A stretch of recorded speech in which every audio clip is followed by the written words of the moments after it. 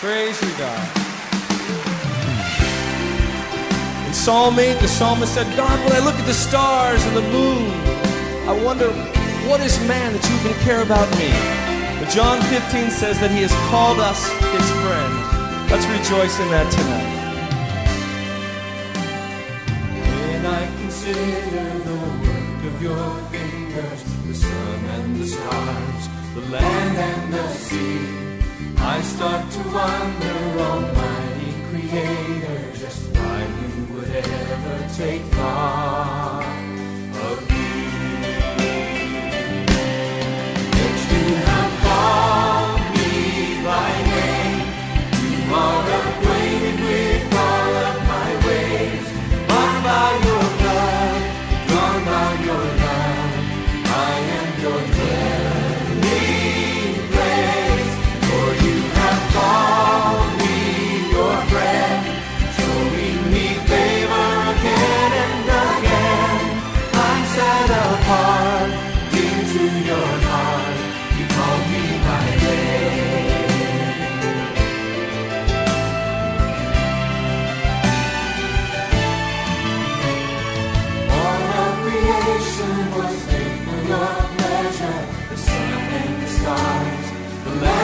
land